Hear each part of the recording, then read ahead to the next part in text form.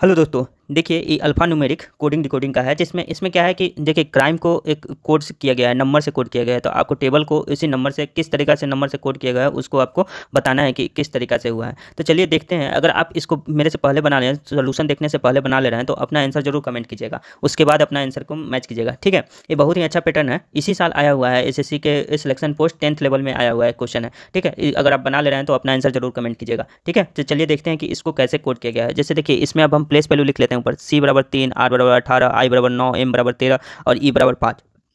इस तरीका से प्लेस वैल्यू आप लिखिए थोड़ा सा जल्दी लिखने की कोशिश कीजिए याद कीजिए इसको। अगर नहीं याद है तो हम याद करवाएँ भी, अपने जाके हमें वीडियो को देख सकते हैं। हम पिन भी कर देंगे आपको आई बटन पे आपको पिन कर देंगे, इसको आप जाकर देख सकते हैं। ठीक है तो चलिए देखते हैं इसमें क्या है। जैसे तीन से चौबीस हुआ है तो तीन से मतलब चौबीस मतलब क्या हो जाएगा? इसका अपोजिट अठारह से नौ मतलब इसका अपोजिट नौ से अठारह इसका अपोजिट फिर तेरह से चार हो गया है, फिर पाँच से बाईस हो गया है। मतलब अपोजिट फिर चार कहाँ से आ गया, ये हमको देखना है।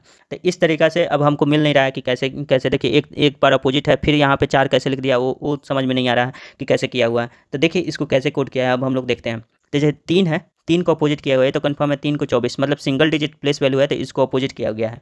बस अट्ठारह को वन एट है इस डबल डिजिट में अठारह है तो इन दोनों को ऐड कर दिया है। प्लेस वैल्यू जो अठारह है इन दोनों को ऐड कर, कर दिया है। आठ है एक नौ तो नौ लिखा हुआ है। वैसे ही नौ सिंगल डिजिट में है इसको अपोजिट करके लिखा हुआ है अठारह। अब देखिए एम क्या है? डबल डिजिट में है वन थ्री तो वन थ्री को ऐड करेंगे तो क्या हो जाएगा? चार। और ई e बराबर ई सिंगल डिजिट में है इस प्लेस वैल्यू इसको अपोजिट करके बाईस लिखा हुआ है। मतलब आपको करना है कि प्लेस वैल्यू जो अगर सिंगल डिजिट में है प्लेस वैल्यू सिंगल डिजिट में है सिंगल डिजिट मतलब कि एक दो तीन चार के नौ तक है सिंगल डिजिट में है तो आपको क्या करना है? तीन अपोजिट करना है। सिंगल डिजिट वाले को अपोजिट करना है और डबल डिजिट वाले अगर है डबल डिजिट वाले तो उनको क्या करना है?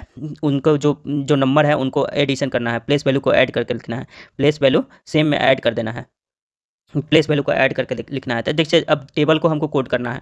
टेबल बराबर टी बराबर क्या होता है? बीस ए बराबर वन बी बराबर टू आर बराबर एल बराबर बारह ई बराबर पाँच। अब देखिए, बीस है सिंगल डबल डिजिट में है तो इसको हम क्या कर देंगे? प्लस करके लिखेंगे तो टू हो जाएगा। अब ए है वन तो इसको अपोजिट करना है तो अपोजिट क्या हो जाएगा? Two two six two two six आपका बी ऑप्शन सही हो जाएगा। लेकिन हम लोग पूरा कर लेते हैं, जैसे कि दो है तो दो दो क्या है? इसका अपोजिट क्या हो जाएगा? पच्चीस। अब बारह डबल डिजिट में है तो तीन हो जाएगा, पाँच। सिंगल डिजिट में इसका अपोजिट क्या हो जाएगा?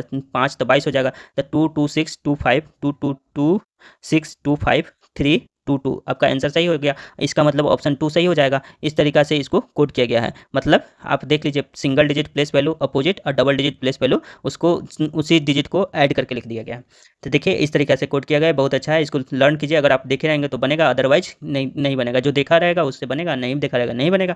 ठीक है? अगर आपको वीडियो अच्छा लगे तो लाइक करें शेयर करें सब्सक्राइब करें। ठीक है? Thank you